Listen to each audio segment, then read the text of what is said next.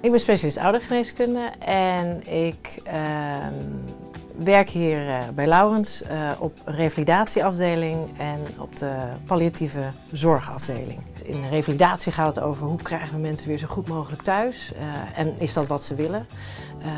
in de palliatieve zorg gaat het op een heel ander vlak van wat is nog belangrijk voor iemand en wat wil die nog mogelijk maken.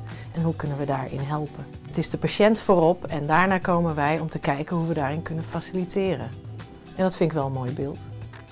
Laurens is een organisatie die vooruitstrevend is. Overal gaat er wel wat mis waar veel mensen werken. En overal wordt dan wel gemopperd. Maar wat er hier dan gebeurt is, er wordt dus even goed gemopperd. En dan zetten we de schouders eronder en wordt het gekeken hoe we het weer kunnen fixen.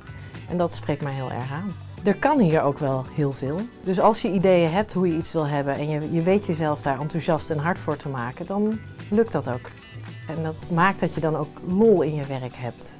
Ik heb nog heel veel plannen.